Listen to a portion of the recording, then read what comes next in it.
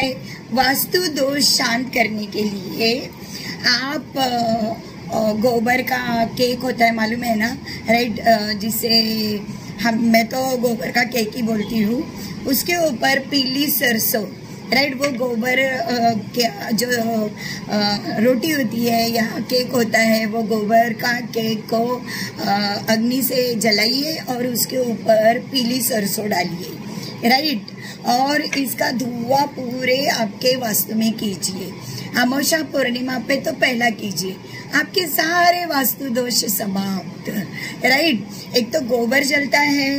Right तो negativity भागती है। और साथ में पीली सरसों अगर हम जलाते हैं तो जिसका भी किया, कराया, भूत, प्रेत, जो भी है नेगेटिविटी उड़न छू आप सबका बहुत बहुत ख्याल रखिएगा।